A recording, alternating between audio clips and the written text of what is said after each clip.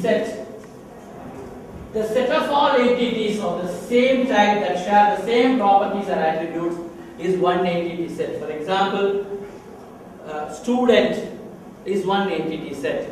Faculty, another entity, set. In the faculty, I may have different types of faculties. Lecturer, assistant professor, professor. Attributes. Attributes are nothing but the descriptive properties possessed by each member. This is what we saw, just one example. Okay. Next. Okay. Now, we will understand what are the types of attributes. We have something called a simple type. Example, employee number. Okay. Usually, we express the employee, I mean, sorry, attribute using an ellipse. That's how we come out with the ER diagram. We'll slowly uh, develop this and then see one example how we create the ER diagram. So, employee number, composite attribute. For example, if, it, if I ask you to tell your name, you will tell your name, then your father's name.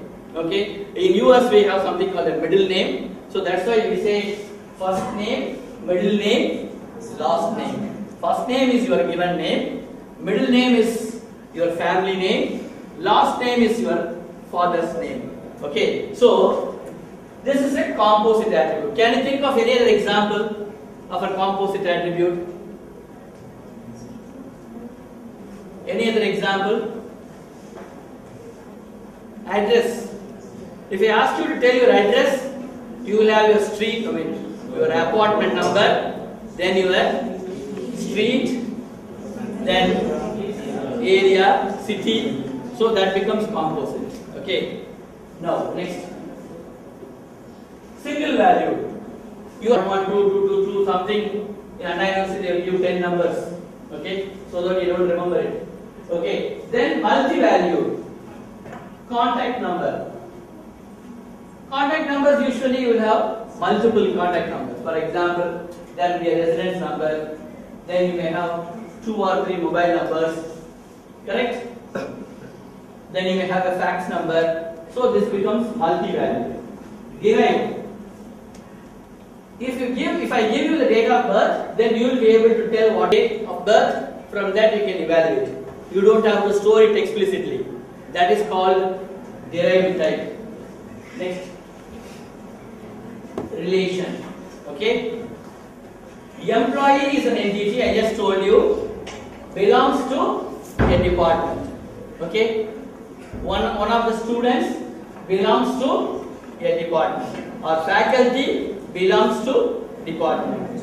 Then relationship identifying relationship. For example, an employee has a dependent. Okay. Say you are dependent on your father. Okay. So same way, your father may be working in some company. Then he would have shown you as a dependent. Now, employee is a strong entity.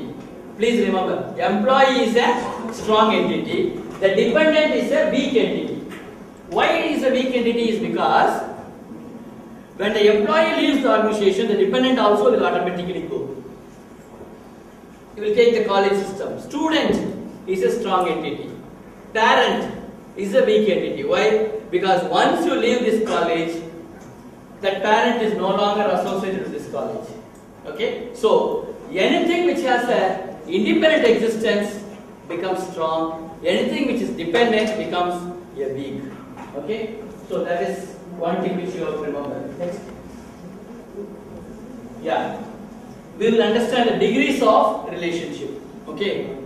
We have unary, degree 1. For example, employee manages. See this, I don't know whether you will be able to understand. Can you tell the meaning of this? Employee manages this. Why it is unary?